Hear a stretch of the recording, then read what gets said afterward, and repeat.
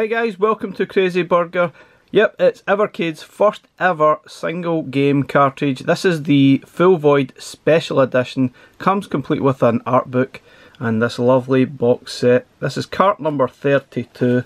This is one good looking box set and it's a great game too. Let's have a look at it.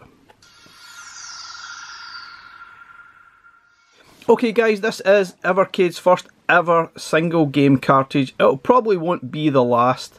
Um, and this is actually a special edition, I guess, to mark that occasion. And it's a damn good game. It's a brand new game as well. It's only really been out a couple of months uh, on some other formats such as Steam and PlayStation. But this is the only ever, uh, hopefully at this moment, I guess, physical version of this game. It does look really nice. I love of silver writing on the side of the box there. Looks really nice. It's very high quality uh, cardboard as well. Really nice. Got a nice sort of sheen to it and shine. Um, but yeah, it looks really nice. Some nice sort of box art here. Um, yeah, it's a brand new kind of 2D cinematic puzzle platformer. Kind of a little bit like Limbo meets Flashback meets Another World, that kind of thing. But it's nowhere near as frustrating. It is a lot more fun to play. So if you didn't like these games, you'll probably like this one a lot more. Again, it's not for everyone, and this is compatible with um, Evercade EXP, VS, the original uh, Evercade, and also the Super Pocket. Now let's have a look what's included. Obviously we have the actual cartridge box, which we'll have a look in a second. We have, um, this is obviously special for this edition, we've got the Art of Full Void and a little poster. So let's have a quick look at the poster. It's a fairly smallish poster, it looks like an A4 size. Um, it's kind of just a poster, dark poster of one of the scenes in the game, and again this is another uh, scene from the game as well, which is kind of cool. Nice included. This is not in the standard edition. Okay, let's have a look at the Art of Full Void. Just a quick sort of browse through the actual um, book that's included here. It's kind of like screenshots from the game um, to start with. And there's obviously a few more things beside, but yeah, it's certainly a really nice, well designed game from the sort of graphics, obviously totally based on old school, to the, the sort of atmosphere that it's created within. But um, there's some really interesting stuff here. It says the it's been influenced by games such as Prince of Persia, Another World, um, and Flashback, which is pretty obvious against once you actually play through the game. But yeah, this is a really nice um, included book that shows you some of the art that was created um, for the game. Obviously, some of the conceptions that was initialized.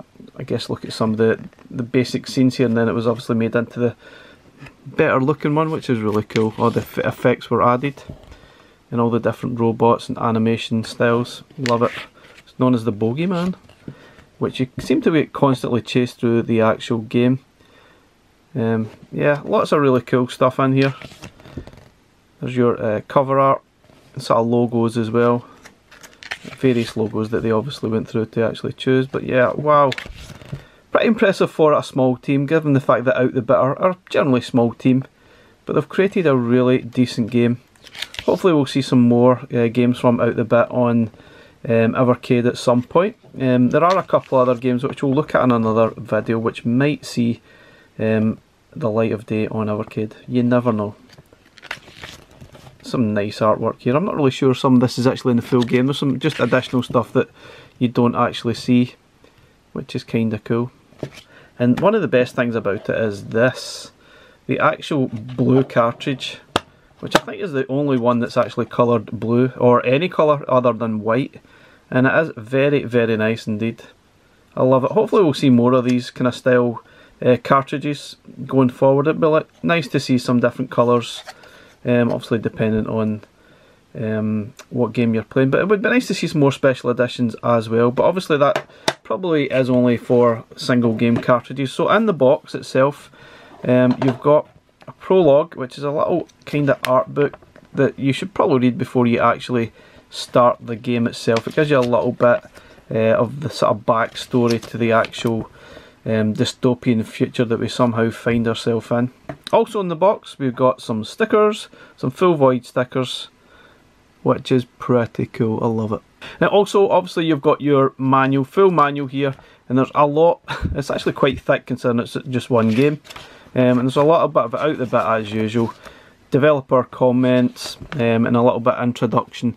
Um, obviously the controls. The controls are very straightforward. You get jump and X or B for action and a little bit of movement with the D-pad. It's very straightforward. There's no text, I don't think, in the game, so it's all very much um, intuitive um, and you really just work it out as you go. Um, if you like Flashback, um, then you'll probably enjoy this. It's certainly a lot easier to pick up than another World Flashback. Um, it sort of re reminds me more of Limbo or Little Nightmares to be honest. But there's quite a lot of detail in this little manual, it's absolutely insane. Which is brilliant. I'm pretty sure this will be the only um, physical version uh, of Full Void. I'm not sure whether they'll do a physical version for any of the other formats they might do, but at this moment in time, this is the only chance of a physical version. And just a word out to all those folks that missed out on the special edition if you ordered through Amazon. Bit of a shame, but at the time of this video, you can still pick it up from uh, one of the suppliers in Canada. I can't remember the name, VGP I think it was. Um, but yeah, there's a lot of information in here. I'm not sure you have to read the manual. It's not one of those games you really have to read the manual kind of thing, but it's a nice touch to include uh, all this. And there's some uh, spoilers there if you do get stuck in what to actually do in certain sections of the game. And one of the really cool things about this, there are achievements in the game too. So one of the things I noticed on the EXP version is I thought the sound was quite quiet for some reason. And this is at sort of up full volume. Um, I didn't have any trouble playing on the, the VS or the Super Pocket. But on the XP I thought the sound was quite quiet. Not sure it's something to do with mine or it's just quite quiet. I would recommend, no matter how you play this game, is to get some headphones and play it that way because it's definitely the best way to pick up that atmosphere and get stuck into the game. That's how I played this game originally and it's fantastic. Really does suck you in. It's the best way. I would highly, highly recommend it. Now also, we're going to try um, this on the Super Pocket. Almost the same colour if you squint. It's actually one's green one's blue, but they kind of almost merge. Almost. Now happily to say it does work on the Super Pocket. Um, there's obviously some borders, but we'll have a little look. I felt the sound was better on this Super Pocket. It's still pretty quiet, but I felt that the sound is certainly better. As you can see here, it works perfectly fine. The text is a little bit small uh, and you've got some top and bottom borders um, but we will look at this separately in another video just to go through the game a little bit more and just specifically look at the full uh, Void uh, Super Pocket version instead. So you can see here there are top and bottom borders when you're playing the game but happy to say it plays absolutely fine. I would highly recommend probably getting some headphones as well for this but the sound is a lot better for me on the Super Pockets than the are on the EXP which is kind of odd to me, um, without headphones that is. But it works absolutely fine um, on the Super Pockets, um, which obviously this is running natively. Your uh, menu button will not work because there's no save states, you will just save automatically as per in game, given the fact that this is a native game. Okay guys, before we jump onto the VS and have a good playthrough at Full Void, I've also got the standard edition. Um, this is a native Evercade game obviously, it's pretty similar, it's obviously the standard style uh, box art um, the actual box seems as if it's been re-configured um, a little bit. The, the cartridge seems a lot tighter, the box actually closes properly. But in the box you've just got your manual, the standard manual as per the special edition and the prologue. That's it, there's no stickers, there's no art book.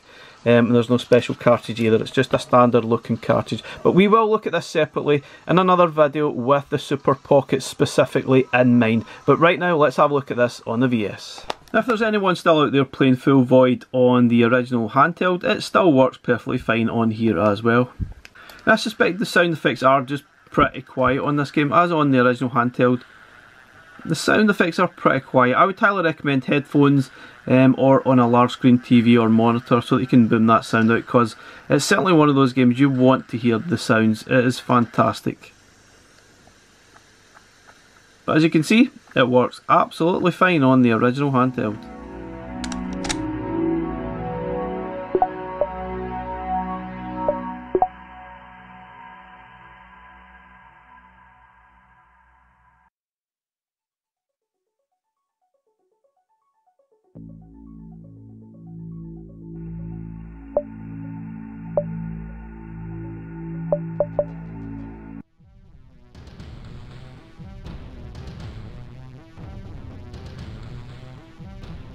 Okay guys, before we actually get started, I'm going to have a look at some of the um, achievements, chapters, settings. Obviously, there's a few different things here. So, achievements, there are 11 achievements that you can unlock through the game, and it's down to certain things you do through the game, and think certain things you interact with, and which is quite cool. This might be something of a first on Evercade as well, which is pretty nice, um, and also gives the game some kind of replayability value because it's only about three to four hours long to go through, um, obviously depending on skill.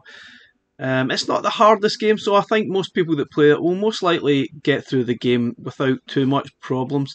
Um, but yeah, you can always replay and try and get those achievements if you've not unlocked them. You see, I've unlocked a couple so far, not that many. Um, so it's certainly something I'm going to have to actually go through and try and unlock um, all the achievements um, that are in the game, which is a, a nice touch. I guess it adds a little extra um, to the game and maybe make you want to play through again. Also, you've got the chapters, you can skip to certain chapters through the game.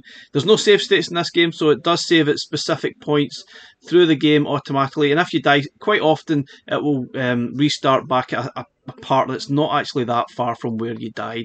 So that's pretty cool. Now, looking at the settings as well, we've got various audio settings. I've ramped up these, especially the sound effects, as high as they possibly can go. Music's up to you. I really just leave that where it was. Now, video, there's a few settings here that you might want to mess about with.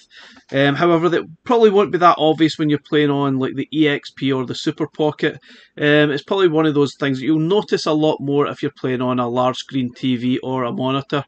Um, for example, if if you have a look through these, you probably can hardly tell any difference at all until you get to the strong, very strong scan lines, for example. Not really for me, I'm not really into scan lines for the best part. Um, there's also a, um, something to do with the graphic setting. You can have it on auto, which I've got it preset to, and that's probably the best one. There is a slightly different one. There's nearest, which kind of I don't know, felt it looked a little bit more blocky or less blocky. And then if you want a complete smooth or smoother experience, you can put it on linear, but it kind of looks a bit blurry to me. So what I've done is just left it as sharp as possible on auto. And again, that's up to you. You can experiment as you go um, your own preference. That's the controls, pretty straightforward, and there's a few various languages that you can jump through, Italian and German being the other options if you don't speak English. Um, and that's it. So you can obviously continue if you already played the game. But what we'll do now is start a new game, and I'll sort of jump in and give my thoughts as we go through the game, um, and then my overall thoughts at the end.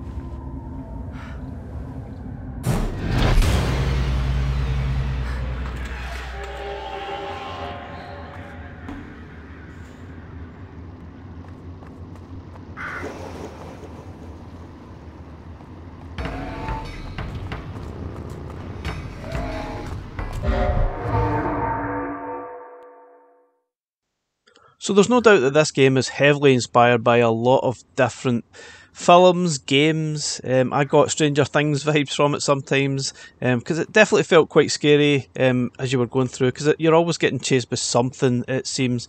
Um, I got War of the Worlds vibes from it. I got Terminator 2 vibes. Um, obviously, it's been inspired from games like Prince of Persia, Flashback, Limbo, Another World. Um, but happily to say, it's not really as frustrating as any of those games. I never really found that any of the puzzles were that difficult. There was a few here and there certainly required a lot of trial and error. And no doubt you will probably die quite a lot of times through this um, game, but it's never. Um, it never really gets to a point where you're really frustrated with it. I think playing through the full game, yeah, it takes about three to four hours. It's not the longest, but playing through the game, there probably was only one or two stages where I really got stuck and wasn't sure exactly what to do. But eventually I worked it out and uh, made progress and then finished the game. But yeah, that is probably one of the, the points definitely worth discussing about this game. It does only take three to four hours, which you then think, is this really good value for money? Should there maybe be another game bundled with this collection? I don't really know. That's obviously up for discussion. It's hard to say. No doubt, though, it's a fantastic game. If you were going to buy this on other uh, devices, it would still cost you about £15. So it was uh, there or thereabouts, and you're getting a physical version definitely the special edition is the one to collect. It is a little bit more expensive at £25, but you get all those added extras. It is a lovely looking box. Not sure if Evercade will do any more of these in future. I'm sure they might crop up one or two now and then. Um, it would be quite nice. It depends really what games they have in mind. But this game is certainly fantastic. I've thoroughly enjoyed playing it. Um, it might not be for everyone. Um, if you didn't really like Another World or Flashback, then you might not like these games. Um, but I have to say, this game is certainly a lot easier to play than those games. And not as taxing, not as frustrating, um, and certainly more enjoyable. And yet, the sound effects, the atmosphere, the music, it is a tremendous game to get involved with. And as I've probably already said, get the headphones out, put the headphones on your EXP, or crank up the sound on your TV and just enjoy it. It is absolutely fantastic.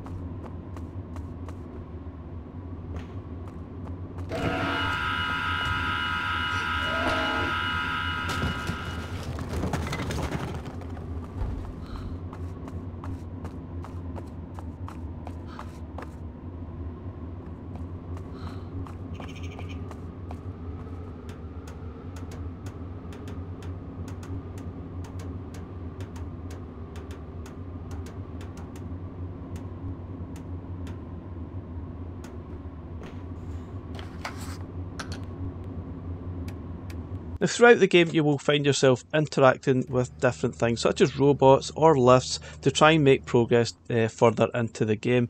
Uh, and sometimes, yet, these sections are a little bit trial and error till you work out um, how many moves you need to go across or along or up or what you need to activate. But it's never really that taxing. Um, you can easily go back and edit what you've already done and replay it till you get it right. It's certainly enjoyable and it's never really that taxing.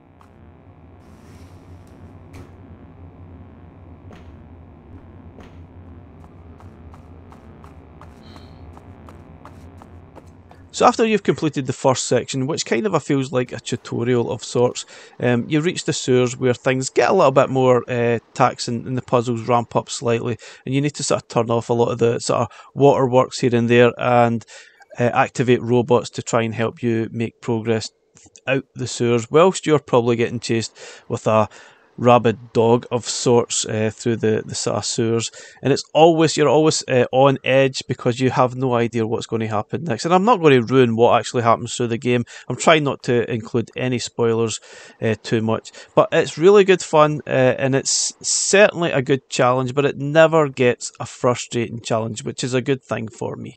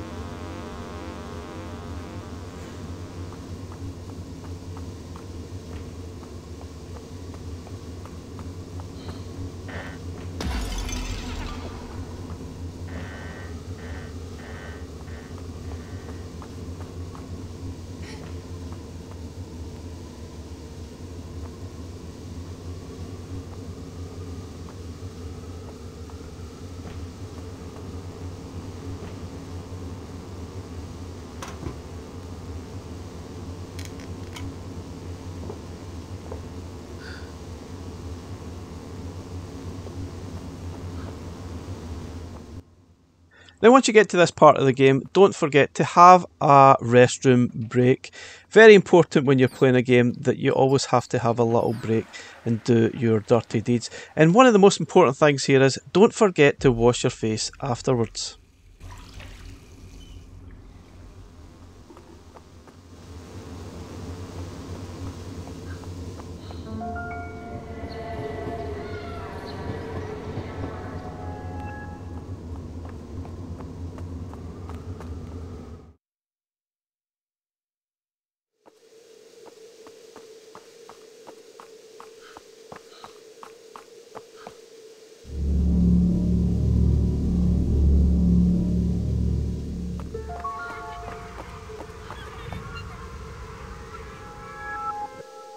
Now, once you get to this part of the game, it's maybe about 40 to 50% through the game, uh, and things definitely progress uh, more and more difficult as you get towards the end of the game. It never gets in- infuriatingly difficult, but you can certainly see through certain parts of the game that gets more difficult. You maybe have to take a little bit extra time to figure out how to make progress in what you're actually supposed to be doing. And at this point, you certainly get yourself a little buddy robot that will help you make progress as well, which is pretty cool. Now, I can't speak highly enough about this game. I think it's absolutely fantastic. Now, it might be just because it's really up my street. I love this type of adventure style game. A little bit like Flashback, but nowhere near as frustrating certainly more achievable and enjoyable to actually play through.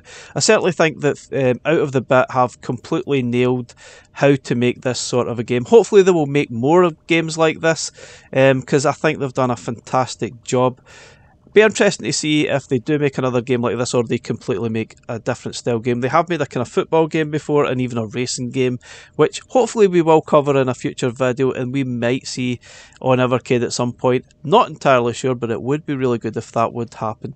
But no doubt, this game, Full Void, is certainly the best game that they've made to date.